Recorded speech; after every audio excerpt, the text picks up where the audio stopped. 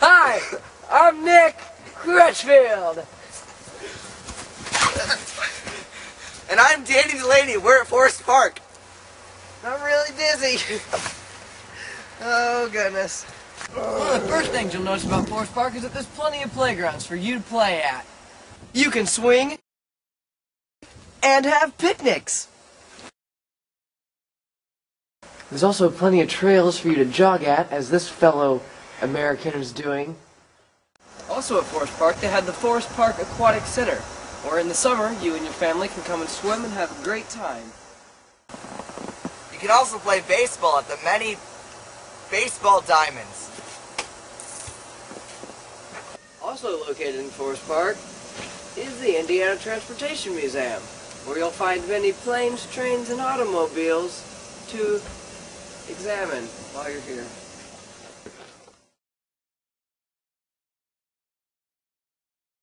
Lots of pine trees here. Look at this tree.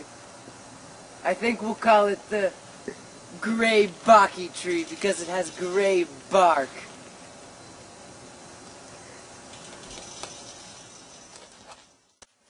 Look at these depressed dying plants. We'll call them yummy plants. Here we quite obviously have evidence of a raccoon being in the residential picnic hut, obviously eating some of the food left behind by the residents. Here we have the obvious tracks of a bunny rabbit. You can tell because as the bunny rabbit moves, he hops, making gaps where he is. Like so. See? The similarities are uncanny. Here we have the obvious remains of a beehive left over from the previous summer. Crikey, look at these. Here we have some genuine angel tracks. And now it's time for some rules and regulations. My nose is really red. The park opens at 5 a.m. and closes at 11 p.m. unless otherwise posted. Fireworks, even safe fireworks, are not allowed on park property. Even sparklers? Even sparklers and smoke bombs. Animals are allowed on park property if they are on a leash or some sort of containment device. No motorized vehicles on the trails.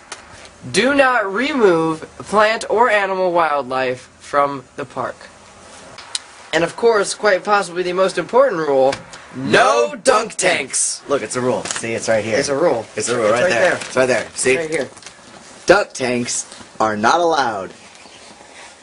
Okay. So, Danny, it's the middle of winter, and we're at Forest Park. What else do you think there is to do?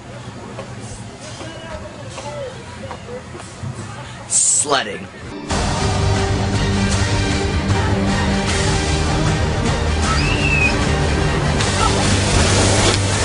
standing.